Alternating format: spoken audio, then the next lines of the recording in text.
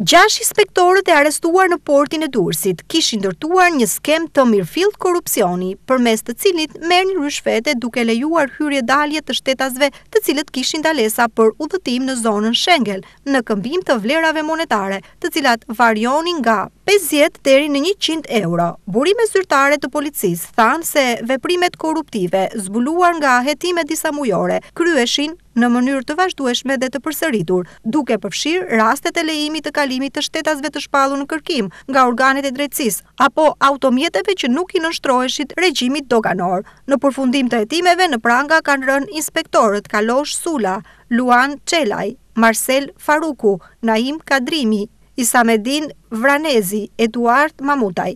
Gjithashtu, gjukata në durës ka caktuar masën e sigurimit personal dhe tyrim paracitje në policin qysore për 20 shtetas të cilët dyshohen për veprën penale korupcion aktiv ndaj personave që ushtrojnë funksione publike.